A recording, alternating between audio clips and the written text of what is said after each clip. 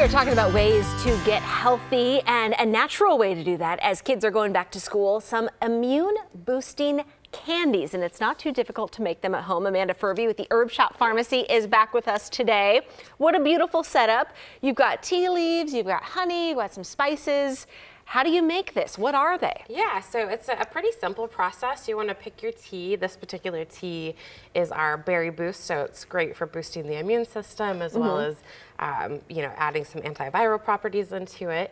So you take that, you make a really strong tea infusion. See how nice and like rich that Thick, is. Yes. Uh, and then you take that and you add honey, mm -hmm. and you're gonna whip it with a you know a good five ten minutes. You want to definitely use a candy thermometer, mm -hmm. and you can make that soft like taffy, or you can make it really hard like a hard candy. Okay, I want to try one. Yeah, go for it. What do you so recommend? Uh, I'd like a little bit in between. That's what these are. Mm -hmm. I, I, like to keep them in the fridge. It keeps them a little bit. Um, fresh like longer. So you put the whole yeah. amount of filling. Yeah, yeah don't do that.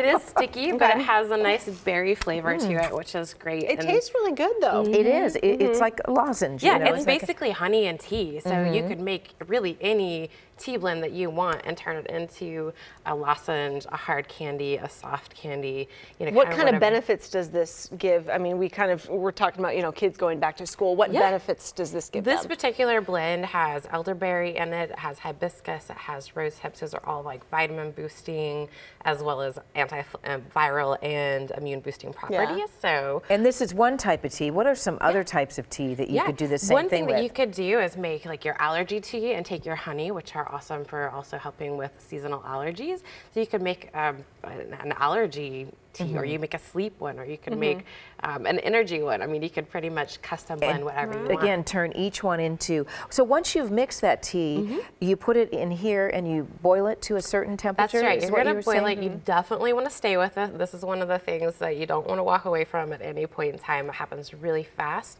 It gets really hot, so you're mm-hmm. just going to keep on whipping it until you get to the desired temperature mm -hmm. that mm-hmm. you want, and then you just take it and pour it. I definitely suggest using a little spout, a nice, yeah, yes, one of the these rubber ones, molds, right? Yeah, mm -hmm. exactly. Okay. And you just pour it in there. I put mine in the fridge for about an hour, uh -huh. and it gets it really nice and hard, the consistency that you want it, and then they're good to go.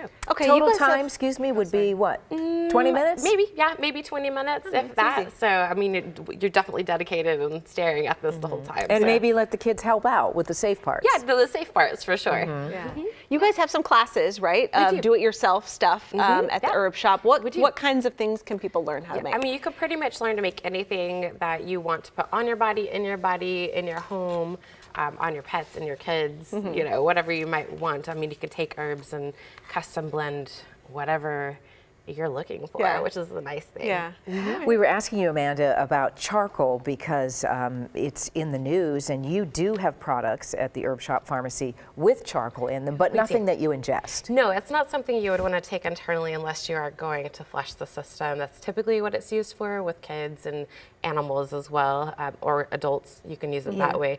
It's awesome for amazing for lots of different reasons, whether you use it for skincare, for makeup, or for teeth, teeth, teeth whitening. whitening. Yes, yeah. exactly. But you don't recommend ingesting it. And the I reason I ask you about activated charcoal is it's, it's really in the news. And thank you for coming in today. Yeah. Mm -hmm. It's become a popular